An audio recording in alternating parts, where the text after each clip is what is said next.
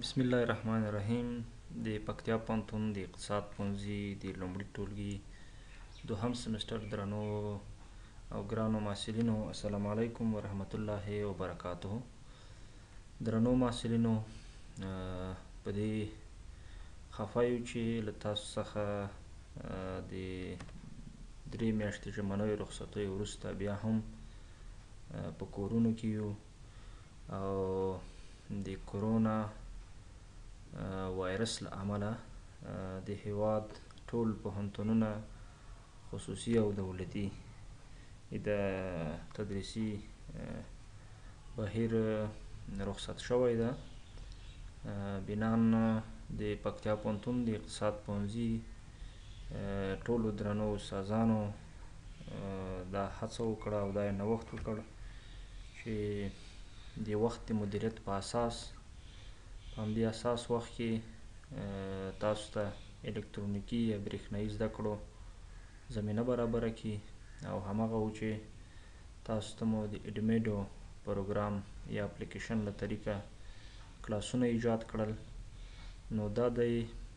د فایننشل اکاونټنګ یا مالي محاسبې لومړنی لیکچر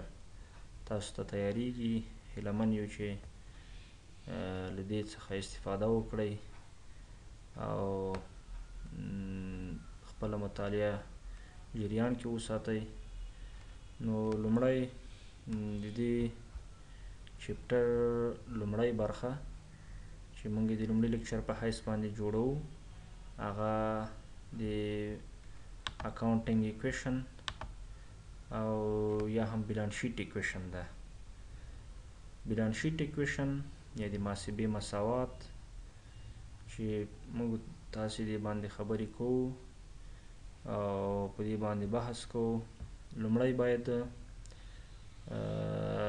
دا وپیژنو چې دا مساوات کوم ده دغه لاندې برخه چې ما سلیکټ کړله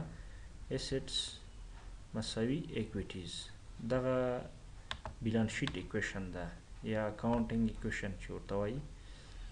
نو دغه برخه کې لومړی باید موږ ایسټ وپیژنو او بیا ایکویټیز وپیژنو بیا به دې مساوات د رامنځته کولو لپاره عملي مثالونه ووایو لومړی اس سیټ باندې خبرې کوو اس سیټس ریفر ټو آل د ویلیوبل پراپرټیز پوزیسډ بای د بزنس اسټس یا شتمنۍ د یو بزنس د یو کاروبار ټوله هغه برخه ده ټوله هغه ارزښتمنه برخه ده کوم چې د یو بزنس ملکیت کې وي کوم چې د یو بزنس په حقوقو کې راځي نو بنان اسټس یا شتمنۍ کې موږ تاسو مختلفه برخې چې مخکې مو مطالعه کړې دي مثلا کرن اسټ دا کرن اسټ کې مثلا دا کیش نغدې پیسې دي یا اکاونټ ریسیوبل ده یا بانک کې زموږ پیسې دي یا مثلا فکس اسټ دي یا مثلا ټنجیبل اسټ دي انټنجیبل اسټ دي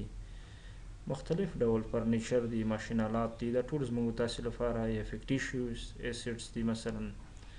دغه ټول اسټ دي او دا بزنس لپاره یو ارزښتمنه برخه ده او دویم ایکویټیز دي چې ایکویټیز بیا حقوق دي یا کلیم اگینست دیز ایسټ په دغه ایسټ باندې د یو چا ادعا ده د یو چا حقوق دي مثلا مونږ ایسټ اخیستی ده یو فرنیچر مو اخیستی ده یو بلډینګ مو اخیستی ده یو ماشینری مو اخیستی ده دغه مشینري موږ په خپله شخصي شتمانیو، پیسو اخیستې ده او که په قرضه مو اخیستې ده، نو دغه شخصي والی او دا قرضه توب دا په خپله ایکویټیز ښیي، هغه حقوق ښیي د مالک. مثلا دا شتمنۍ که موږ په خپلو پیسو اخیستې وي، نو بیا ورته وایو چې دا زموږ شخصي ملکیت ده او چې هغه ته کیپیټل وایي. یعنې دغه ایکویټیز بیا په دوو برخو وېشل کېږي. دلته لیکلی چې the equities are further divided into capital and liability په دوه برخو ویشل کیږي چې یوې برخې ته کیپیټل او بلې برخې ته لایبیلیټي وایي کیپیټل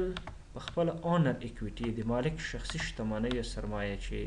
د دې د ادعا حق په خپل دغه مالک کولای شي او دویم لایبیلیټیز دي چې کېدای شي دغه جنس قرضه اخیستی وي او د بل چا حق وي کپیټل ته موږ اونر اکویټیز هم وایو یعنی هغه د مالک په خپل حقوق کې شامل دي او لبل اړخ نه دغه لیبیلیټی ته چې د قرضې باندې موږ اخیستي وي هغه ته بیا آوټساید اکویټیز یا آوټسایډر ان د اسټ اف د فرم دغه حقوق دي د آوټ سایډر، د خارج نه، بهر نه، مثلاً بانکونه، مثلاً نور کریډیټي موسسات، هغه آوټ سایډر جوړیږي. یا مثلاً یو بل شخص وي، له بهر نه وي، هغه آوټ سایډر جوړیږي. نو په دې اساس دغه دواړه طرفونه چې یو طرف ایسټس ده او بل طرف ایکویټیز ده، دا دواړه مساوات باید څنګه وي؟ دا باید برابر وي نو لکه دې لپاره چې دغه ښه په دې پوه سو دا لاندې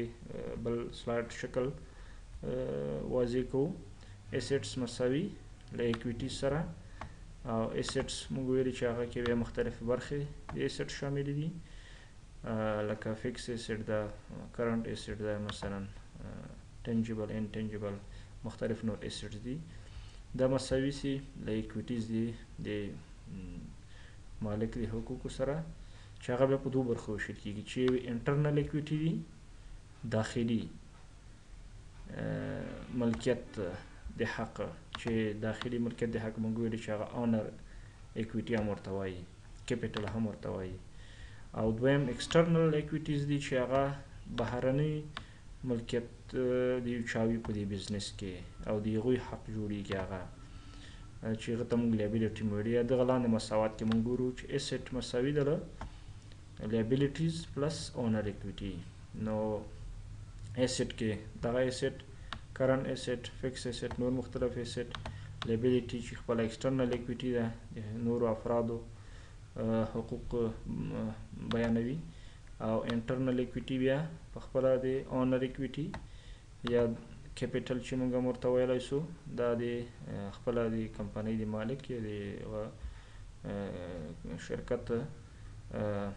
د افرادو د داخل چې د چا کمپنۍ وي د یوې پورې ارتباط لري نو دغه یو مساوات ده د مساوات تل باید مساوي وي برابر وي او د کې موږ تاسو عملی مثالونه ان شاء الله مخته وایو بل مهم خبره په دې کې څه ده هغه افیکټ اف ترانزیکشن ان د اکاونټینګ ایکویشن په اکاونټینګ د مساوات د ایکویشن باندې د ترانزیکشن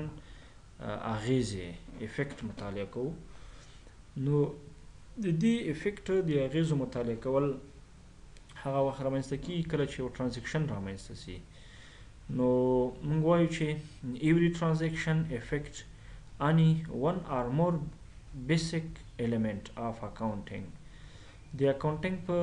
دغه عناصرو باندې اساسي عناصر باندې د اکاونټنګ اکویشن په اساسي عناصر باندې چې اکاونټنګ اکویشن کې درې اساسي عناصر دي یو اسټس ده یو لیبیلیټیز دي او بل اونر اکویټي ده یا کیپټل ده نو دغه ترانزیکشن به دغه درې اکاونټونه چې دي دا به متاثره کوي دا به تر اغېزې لاندې راولي یا به زیاتوالی کې راځي یا به کموالی کې راځي انکریز ډیکریز دغه حالتونه په خپله افیکټ مطالعه کوي مثلا موږ یو مثال وایو فار ایگزامپل اف د اکویپمنت ار پرچیز فار کیش کله چې موږ اکویپمنت دفتر سامان آلات دفتری شیان اخلو او په نغدو باندې اخلو اوس دلته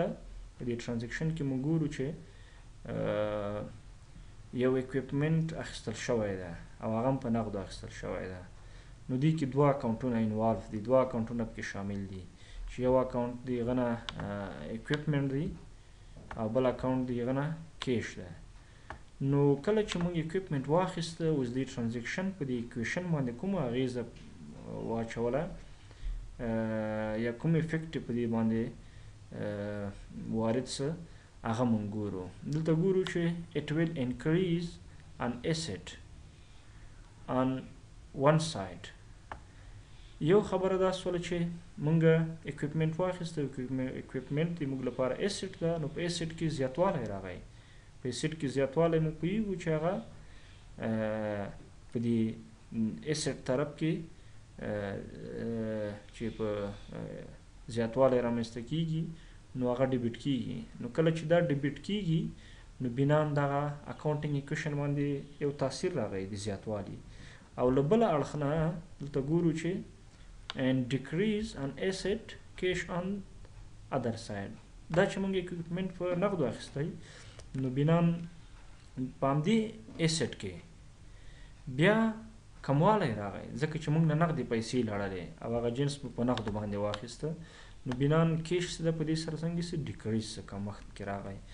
نو دغه شکل موږ مثلا یو بل مثال ورکو که چیرته موږ تاسو یو جنس په قرض باندې واخلو مثلا وایو چې احمد ټریډنګ کمپنی پرچیز مرچنډایز آن اکاونټ د احمد تجارتي شرکت یغه مرچنډایز واخیستل مرچنډایز خو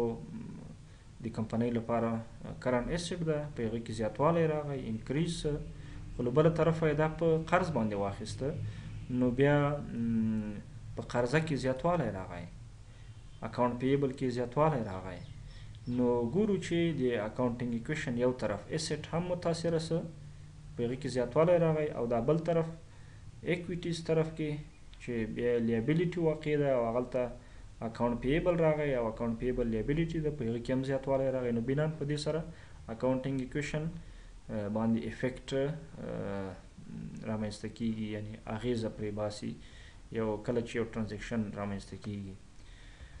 نو دې لپاره چې مونږه په دې اکاونټینګ اکویشن باندې خو پوي سو ما مخکې یادوري وکړله چې یو څه مثالونه به دې لپاره وړاندې کو نو تاسو درنه محصلین خو دقت کوي دي ته هر ترانزیکشن ته او بیا په هغه غیزو باندې ځانونه پوي کوي بیا ورسته برخه کې چې مونږ کوم مثالونه عملی کار کوو په دې اکویشن کې بیا ان شاء الله غلطه ستونزه نه وي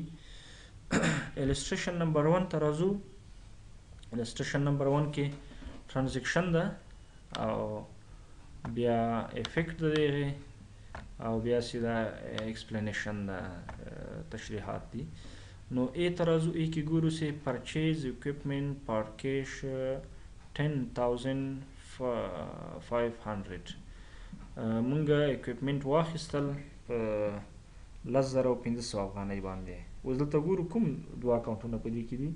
دلته ګورو چې یو اکویپمنټ ده اکویپمنټ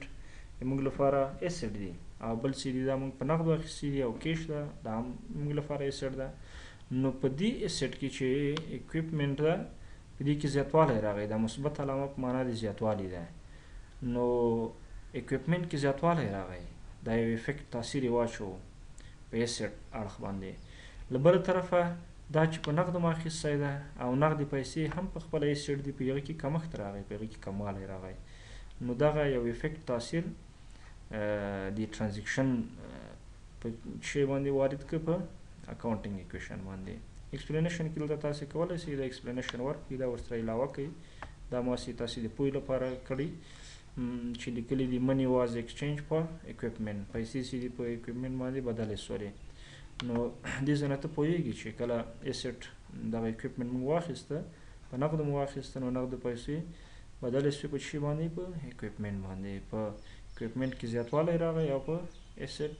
کیش اړخ کې کموالی راغی بی received cash ان پیمنټ اف پروفیشنل فیز 500 افغانیز دلته په دې ترانزیکشن کې موږ ګورو چې موږ یو چاته خدمات تر سره کړي وو یو څه مسلکي خدمات دی غو مقابل کې موږ ته فیس را کړای دا موږ ته پیمنټ کړای هغه موږ ته ریسیوټ سوی ده نو کله چې موږ ته پیسې ریسیوټ سي نو موږ ته نغدي پیسې راځي او نغدې پیسې کې زیاتوالی چې ده هغه انکریز په ډیبټ سایډ باندې وي او دا زیاتوالی راغلی دا زیاتوالی وګوره کیش موږ مثبت لیکلی ده دا یو افیکټ څه او له بل اړخه نه دغه پیسې چې موږ ته راغلې دا خو د یو سرویس له وجې نه راغلې موږ یو سرویس چاته وړاندې کړی یو خدمت مو وړاندې کړی و نو د موږ په آنر اکویټي کې زیاتوالی راغی موږ به دلته هغه سرویس چې موږ کوم خدمت وړاندې کړی دی هغه مقابل کې پیسې راځي موږ هغه دلته په دې شکل باندې نه لیکو چې هغه ریوینیو ده د موږ دا خو طبیعي خبره ده چې ریوینیو ده خو موږ به دغه درې اکاونټونه دلته استعمالو چې یا اسټ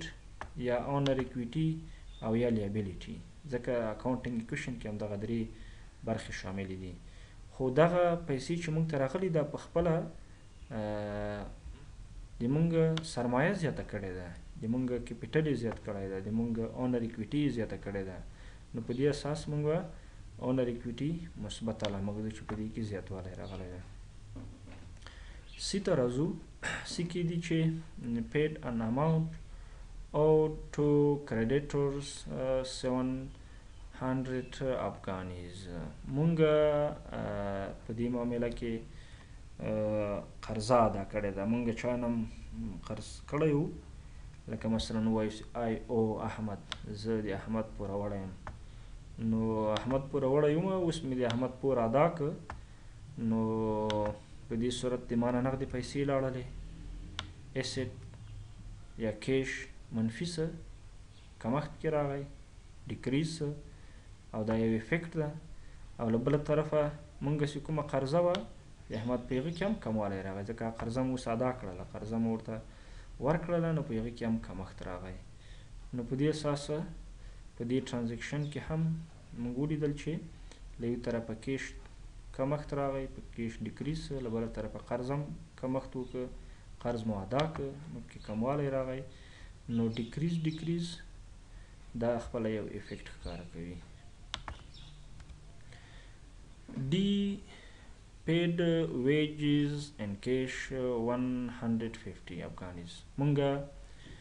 یو چا ته مزد ورکړه موږ سره یې کار وکړ مزدوري یې وکړله په مقابل کې موږ نغدې پیسې ورکړلې یو سلو پنځوس افغانۍ نو زموږ کیش په دې سره ډیکریز کمښت پکې راغی او له بله طرفه دغه پیسې مو له څه شي نه ورکړلې دا مو د مالک د سرمایې نه ورکړې دا خو د مالک د سرمایې نه کمې سولې په هغې کې کمښت راغی نو بنان اونر ایکویټي چې کمښت راغلی دی چیری علت نه دی ویجز ددی مزدورانو ته مو مزد او معاش ورکړی ده ددی له وجه نه په هغه کی کموالی راغی ای ته راځو ای کی داسی دی چی بورود 5000 افغانی فرام ا بینک ګیون 8% انټرست بیرینګ نو ډیو ان 30 ډیز مونږ د پیسو د کمښت سره مخامخ وو، بزنس کې مو پیسې نه وې، نو موږ لاړو بانک ته او له بانک نه مو یوه اندازه قرض واخیست او قرض مو هم په اته فیصده انټرست سره، اته فیصده به په دې سود ورکوو، موږ اوس د سود معاملې سره کار نه لرو، چې سود به څومره وي، څنګه راځي او څنګه ریکارډ کیږي، موږ صرف دا زده کوو، چې دا افیکټ څنګه واقع کیږي دلته په اکاونټنګ ایکویشن باندې د دې ټرانزیکشن له وجې. نو مونږ پیسې په قرض واخیستلې له بانک نه مونږ ته خو پیسې راغلې بزنس ته نغدې پیسې کیش راغی او کیش د مونږ لپاره ایسټ ده کرنټ ایسټ ده په هغه کې زیاتوالی راغی دا مو ولیکه مثبت او له بل طرفه دا خو مونږ په قرض اخیستي دي دا خو مونږ په انټرست هم اخیستي دي او دې ته به خپل قرض هم بیا ورکو دې ته به 2% انټرست هم ادا کوو نو مونږ په قرضه کې چې نوټ پیبل یعنی دا په لیکلي بڼه باندې ده او دا هم صرف د دیرشو ورځو لپاره نو دغه نوټ پیبل د لیابیلیټي سایډ کې زیاتوالی راځي او په دې سره هغه مثبت لیکل شوی دی ورستنی اف ته راځو اف کې لیکلی چې پیډ آفیس رینټ 400 افغانیز دلته 400 افغانۍ مونږه کرايه ادا کړې ده آفس رنټ مو ادا کړی ده نو آفس رنټ خو د موږ لپاره ایکسپنس دي خو دا موږ په نقدو ادا کړی ده بنان موږ نقدې پیسې له موږ نه لاړې اسټس کې کمښت راغی په اسټ کې کموالی راغی نو کیش موږ من منفي لیکلی دلته او له بله طرفه دا خو ایکسپنس شو موږ دلته ایکسپنس نه لیکو ایکسپنس ته اړتیا نشته موږ باید اونر ایکویټي سره دا قوس کې چې موږ لیکلي دي اکسپنس دا مې تاسې د پوهې لپاره لیکلي مونږ اونر اکویټي کې کمښت راغی ځکه چې اونر اکویټي دلته مونږ متاثره سوله او په دې کې د همدغه کرایې له وجې نه کموالی راغی او دا منفي لیکلی دی ښه درنو محصلینو خدای دې وکړي چې په دې لومړي مثال پوه سوي کومه ستونزه نه وي پکې خیر بیا هم که په کوم ستونزه وه درته یا نه یې پوه سوي ما څو څو ځله ویلي چې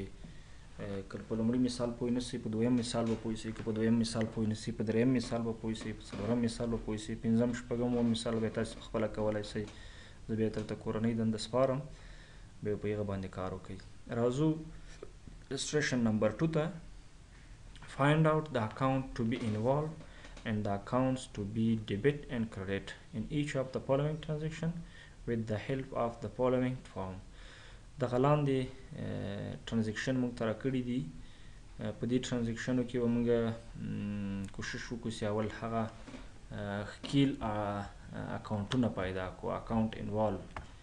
هغه خکیل اکاونټونه چې په یو ترانزیکشن کې موږ تاسو ویلي چې معمولا دوه یا درې یا کېدای شي څو اکاونټونه وي او اپ کې شامل وي هغه شامل اکاونټونه کوم دي هغه په کوم کلاس کې شامل دي او هغه کوم یو د هغوی نه انکریز کیږي کوم یو ډیکریز کیږي په دې باندې اوس کار کوو ای ترانزیکشن ته راځو کیپیټل انټروډیوس بای د پروپرایټر کیپیټل راوړل سو انټروډیوس سو معرفي سو بزنس ته بزنس ته کیپیټل راوړل سه د چا لخوا نه د مالک لخوا نه نو دلته مونږ دوا اکاونټونه انوالو دي پوهیږو چې دغه دواړه اکاونټونه یو دا د چې کیش راغی کیش راوړ مالک بزنس ته انتقال ک نو کیش موږ لپاره اسټ ده کرن اسټ ده په کرن اسټ کې زیاتوالی راغی زیاتوالی سره زموږ پیو هغه اکاونټ ډیبټډ ډیبټ سره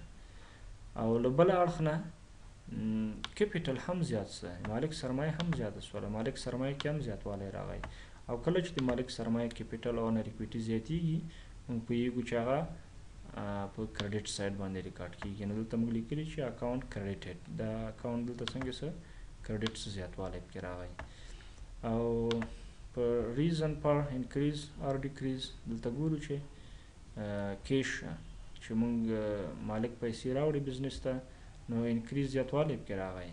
ان ایسټ په ایسټ کی ځکه کیش خپل ایسټ ده کرنټ ایسټ ده او اونر اکویټی کی هم زیاتوالی راغی اونر اکویټی هم په دې سره زیاتوالی وکړي انکریز سره دویم ترانزیکشن ته راځو دویم ترانزیکشن کې دی بی پرچیز فرنیچر پارکیش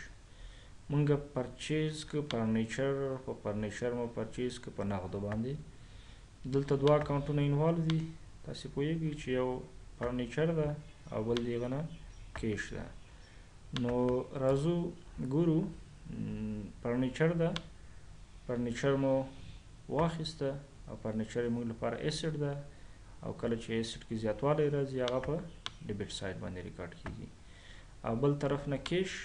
باندې مو دا واخیسته نو کیش کې خو کمښت راغی کیش کې کموالی راغی موږ نه پیسې لاړلې نو کیش مو په کریډټ سایډ باندې ریکارډ کړه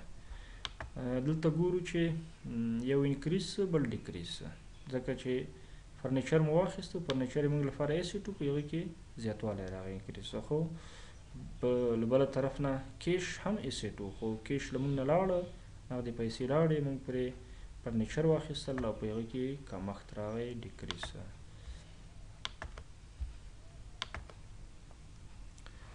سی مرچنډایز پرچیز فرام علی مونږه مرچنډایز انوینټری مو پرچیز کړله خو له الینه دلته خو تاسو پوهیږئ موږ مخکې مو ویلي چې دلته خو دا نه دی لیکلی چې په کیش یې وکړه او که په قرض یې وکړه ان اکاونټس ان کریډټس نو تاسو ته مخکې ما ویلي هغه دا چې کله چې د یو چا نوم ذکر شوی وي نو دا معنا چې بیا دا په معامله په قرض باندې شوې ده یعنی دا په ان اکاونټ باندې ده نو موږ د علی نه یو مرچنډایز واخیسته او هغه مو په قرض تر واخیسته نو راځو دلته ګورو چې یو پرچیس او دا پرچیس خپل چې شی وو مرچنډایز وو او په چی شی مو اخیسته دا په اکاونټ پیبل په قرض باندې دغه دوه اکاونټونه انوالو دي دا شامل دي په دې ترانزیکشن کې چې یو مرچنډایز سو چې دا مو واخیستل او په دې کې زیاتوالی راغی دا بزنس لپاره کرنټ اسټ دا کرنټ اسټ چې زیاتیږي نو هغه ډیبټ کوو او له بل طرفه اکاونټ پیبل د علي له طرفه چې مونږ علي ته قرضدار سولو او هغه کله چې اکاونټ پیبل زیاتیږي نو هغه کریډټ سایت باندې ریکارډ کیږي دلته ګورو چې دواړه انکریز دي ځکه چې هم اسټ زیاتوالی وکړه په اسټ کې زیاتوالی راغی مرچنډایز مو واخیسته او له بله طرف هم په قرض واخیسته په قرض کې مو زیاتوالی راغی بل ډي سی ډي ډی ترازو ډیکی داسی دی چی مرچنډایز سولډ پارکیش مونږ مرچنډایز خرڅ کړل خو په نغد مو خرڅ کړل نو کله چی مونږ یو چی شی خرڅو معلومه خبره ده چی سیلز کوو نو مونږ ته نغدی پیسې راځي او نغدی پیسې دی بزنس لپاره کرن اسټ ده کرن اسټ کی زیاتوالی په ډیبټ سایډ باندې ریکارډ کوو او له بل طرفه سیلز ده سیلز مو وکړ خرڅلاو مو وکړ خرڅلاو خو د بزنس لپاره ریونیو ده او ریونیو زیاتوالی چې دا په کریډټ سایډ باندې ریکارډ کیږي نو دا د مونږ هم په کریډټ سایډ باندې سیلز لیکلای ده او دلته په دواړو کې زیاتوالی راغی هم ایسټ زیات سه او هم اونر ایکویټي زیاته سره دلته موږ چې کله سیل وکړو سیل خو په حقیقت کې ریونیو ده ریونیو دلته لیکل کیږي نه ځکه چې موږ په اکاونټینګ ایکویشن باندې تاثیرات مطالعه کوو نو بنان دلته اونر اکویټي ورسره زیاتیږي د مالک سرمایه په دې سره زیاتوالی کوي کله چې سیل زیاتیږي او کله چې بیا برعکس یو شی پرچیز کوو اخلو یې نو پرچیز په وخت کې که چېرته مو په قرض اخیستی وي نو بیا وایي چې لیبیلیټي ورسره زیاتیږي او که چیرته مو بیا په نغدو باندې اخیستي وي نو بیا هم اونر ایکویټي ورسره کمښت کوي کموالی راځي په اونر ایکویټي کې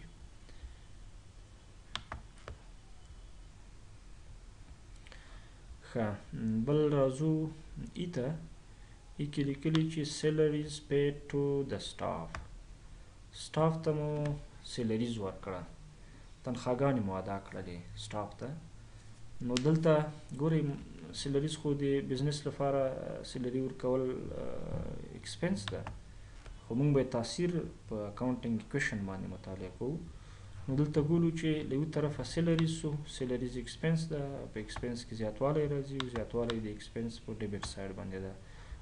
دغه اکسیلري موږ څنګه ورکړې په نغدو ورکړې ده نغد یې کیش ده په کیش کې کمښت راغی او کله چې کمښت راځي په کریډټ سای ده اوس دلته راځو دواړه ډیکریز شوي دي چې شی ډیکریز شوي دي یو دا چې موږ سیلریز ادا کړله سیلریز خو ایکسپنس او ایکسپنس مصارف زیاتوالی وکړ او زیاتوالی په ډیبټ باندې وو نو دا مصارف لو چې شي نه ادا سو دا خو د اونر ایکویټي نه ادا سو دا خو د مالک سرمایه کې کمښت راغی د مالک سرمایه کې کمښت ډیکریز سره له بله طرفه کیش له موږ نه لاړه کیش د موږ اسټ او اسټ کې هم کموالی راغی نو کموالی په دې کې د اسټ د ډیکریز په معنا سره دی خو اف ته راځو اف کې لیکلي چې ریسیوډ کیش فرام حسن موږ د حسن نه پیسې موږ ته ریسیوډ شوې دا به مخکې یو څه معامله سوې وي مخکې به یو ټرانزیکشن داسې سوې وي چې موږ په حسن باندې چې شی خرڅ کړي وي او په قرضه مو په خرڅ کړي او اوس حسن موږ ته پیسې راوړلې موږ ته ریسیوډ سولې نو اف ترازو یو دا چې کیش راغی پیسې چې موږ ته راوړې موږ ته ادا کړلې نو موږ کیش ورسره زیات سه او دا د کیش په ډیبټ سایډ باندې ده له بل طرفه اکاونټ ریسیوبل چې موږ د حسن اکونټ یې سو بل لاره په هغه کې هم کمښت راغی ځکه هغه موږ ته ادا کړه دی او د اکاونټ ریسیوبل په خپل کرنټ ایسټ د پیغه کې کمښت په کریډټ سایډ باندې ریکارډ کیږي نو دا په کریډټ سایډ باندې ریکارډ شوی انکریز ان ایسټ ان ډیکریز ان ایسټ له یو طرفه ایسټ زیاتوالی وکړي ځکه نغدي پیسې راغلي موږ ته کیش راغی موږ ته له بله طرفه موږ هغه کومې قرضې چې وې په هغه کې کمښت راغی او هغه خپله کوم ریسیوبل ایسټ دي او په هغه کې کموالی راغی جی پیډ ان اکاونټ عمر مونږ عمر ته مونږ پیسې ورته ادا کړلې دا مونږ ته عمر قرض راکړی و د دې اف د معاملې برعکس خبره ده مونږ عمر قرضدار یو اوس مو عمر ته پیسې بیرته پیډ کړلې ادا مو کړلې نو راځو ګورو چې یو دا چې اکاونټ پیبل مونږ قرضه وه په مونږ باندې قرضه وه د مونږ قرضه کې کمښت راغی مونږ په قرضه کې کمښت اکاونټ پیبل کې کمښت ډیبټ سایډ باندې ریکارډ کیږي دی عمر نو دا د په ډیبټ سایډ باندې ریکارډ شوی دا له بل اړخ نه موږ نه پیسې لاړلې نغدې کیش لاړه او کیش چې موږ کمیږي نو هغه په کریډټ سایډ باندې ریکارډ کیږي دواړه ډیکریز سو یعنی چې شي ډیکریز سو لیبیلیټي هغه اکاونټ پیبل هم ډیکریز سه او ایسټ د موږ نه نغدې پیسې لاړلې هغه هم ډیکریز سه نو دواړو کې کمښت راغی اچ ریپیر چارجز پیډ موږ به یو شی ریپیر کړی دی یو شی مو جوړ کړی دی ماشین مو خراب وو د ماشینری لپاره مو مصارف کړي دي او هغه مو اوس پیډ کړل ادا مو کړل نو یو ریپیر ایکسپنس دی ریپیر ایکسپنس زیاتوالی کی زیاتوالی په ډیبټ سایډ باندې ده او بل د موږ نه نغدي پیسې لاړلې نغدي پیسې کیش سره اوس کله چې نغدي پیسې د موږ نه لاړې نو څه شی وسو له یو طرفه اونر ایکویټي کې کمښت راغی او له بله طرفه په اسټ کې چې دا کیش او له موږ نه لاړې هغه کې هم کمښت راغی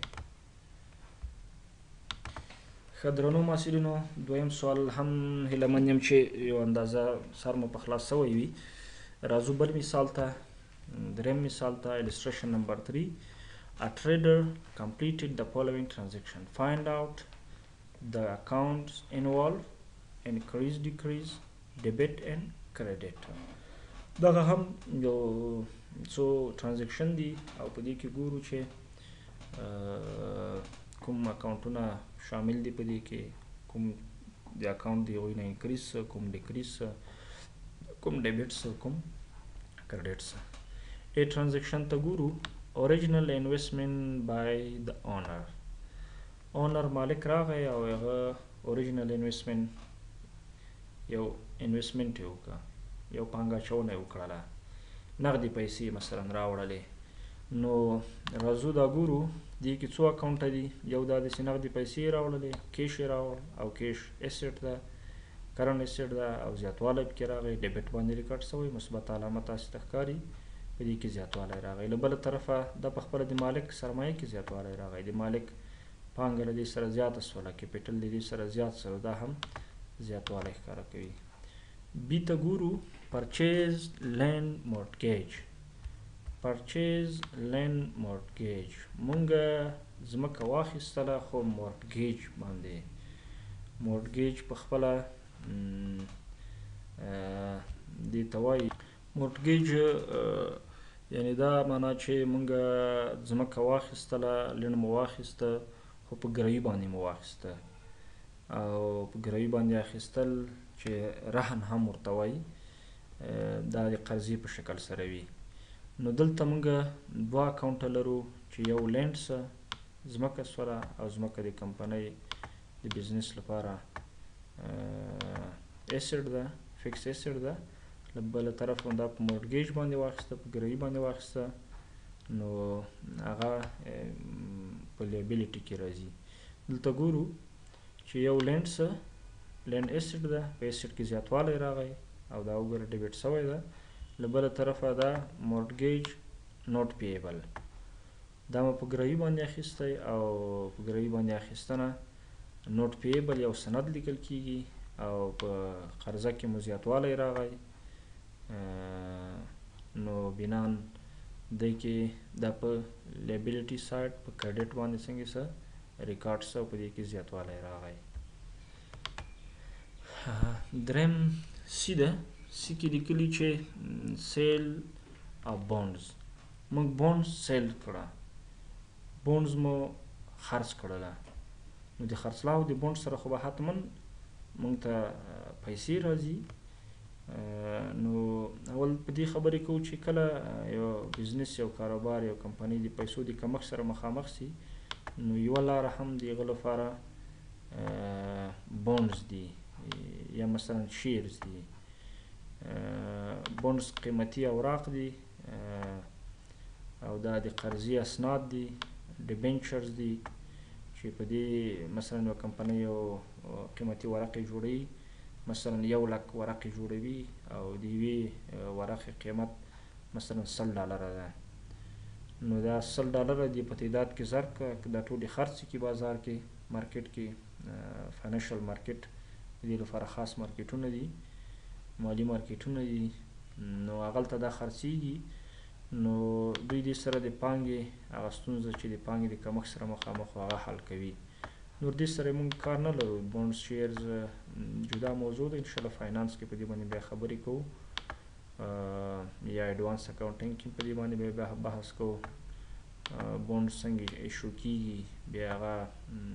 څومره خرڅ شي څومره پاتې شي بیرته واپس کیږي بیغه ریکارډ سره کم کیږي دا بیا په اډوانس اکاونټینګ کې وایو خو دلته اوس موږ وایو چې سیلز یې کړه بونډز یې سیلز کړه خرڅ یې کړه نو دلته دوه اکاونټونه شامل دي یو دا ده چې کمپنۍ ته کیش په دې سر راغی ما درته ویلي چې پیسو د کمښت سره مخامخ وي نو دوی دا خرڅوي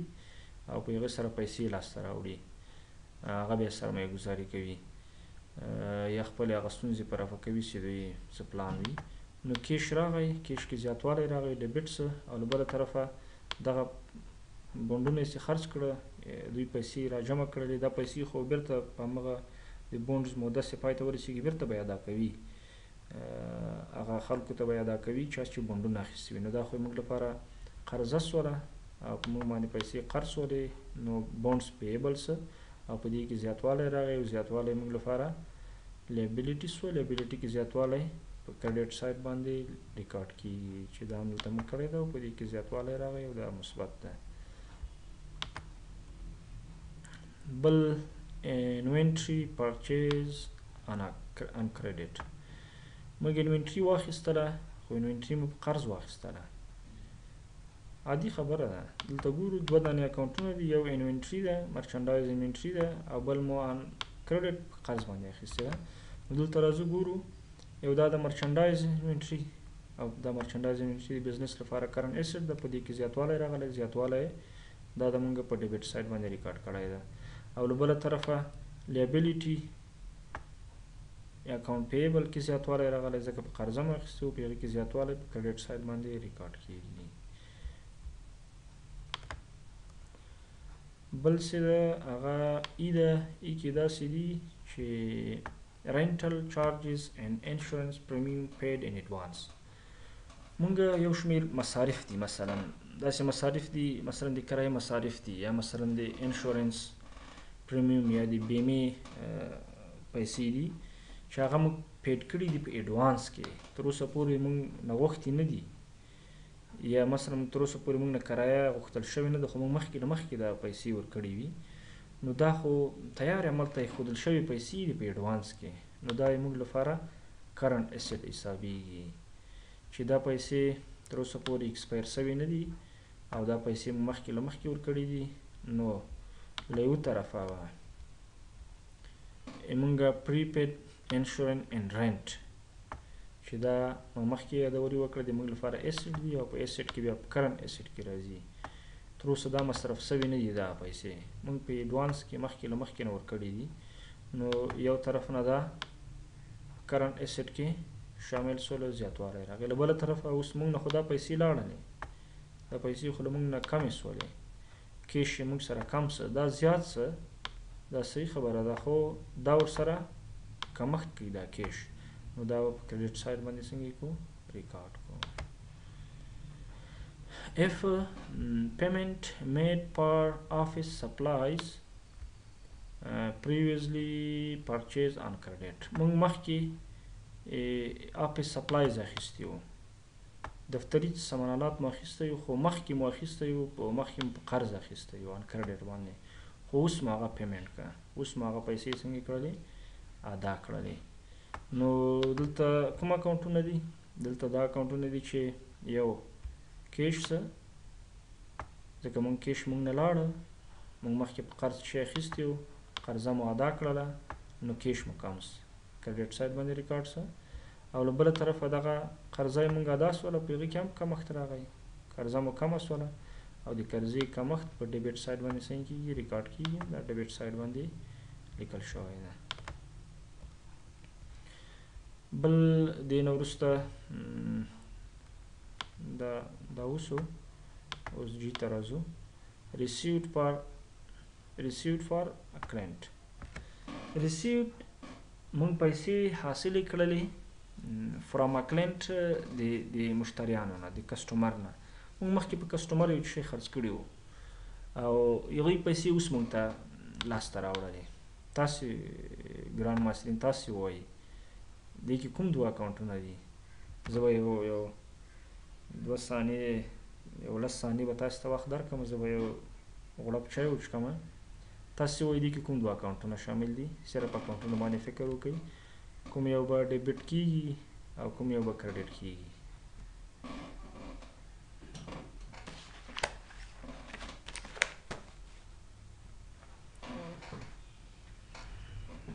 ښه فکر به مو کړی وي نو اوس وګورئ چې تاسو درست یې که څنګه یې جي ته راځو موږ ته نغدې پیسې راغلې یو څو کیش څو ځکه چې هغه پیسې موږ ته ادا سولې نو په کیش کې مو زیاتوالی راغی او هغه په ټیبیټ سایډ باندې ریکارډ کیږي بل خو اکاونټ ریسیوبل چې څوک وو نوم به دلته ذکر سوی وي یا باید قوس کې ورسره یې په هغه کې کمښت راغی کموالی راغی ځکه چې مونږ ته پیسې ادا سولې نو په هغه کې کمښت راغی او کمښت په کرنټ ایسټ کې د اکاونټ ریسیوبل کې په کریډټ سایډ باندې ریکارډ کیږي ورستنی یو ته راځو ورستنه یو اچ ده یو بلم پاتې ده اچ کې داسې دي چې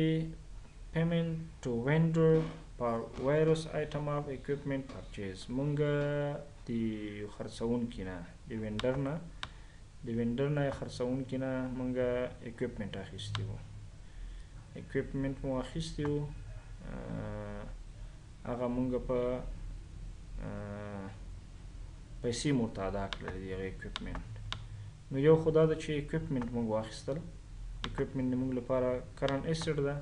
په هغه کې زیاتوالی راځي او له بله طرفه موږ د دې مقابل کې پیمنټ وکړه، پیسې ورکړلې نو کیش به مو کم سوی وي. یو دا ده چې ایکویپمنټ ده، ایکویپمنټ اسیټ ده او که اسیټ کې زیاتوالی راغی، زیاتوالی په ډیبیټ سره ده او دا چې ایکویپمنټ موږ په نقد واخیستی دی، پیسې مو ادا کړې دي نو بیا به دلته کیش کریډیټ کو ورستنه یو ده اخر یو د سلایډونه مانه مخته ورسته سي ډیرو بخی آی ترازو آی کې دي چې پی ټلیفون بیل بزنس د کاروبار د نو ټلیفون بیل به پسې راغلی وي ټلیفون بیل موږ پیډ که اعدام که نو له یو طرفه ټلیفون بیل ایکسپنسز دي او موږ نه کیش په دې سره کمیږي نو یو ټلیفون کیش په موږ سره کم سو کمښت کې راغی او دا کمښت کیش په کریډټ سایت باندې ریکارډ کوو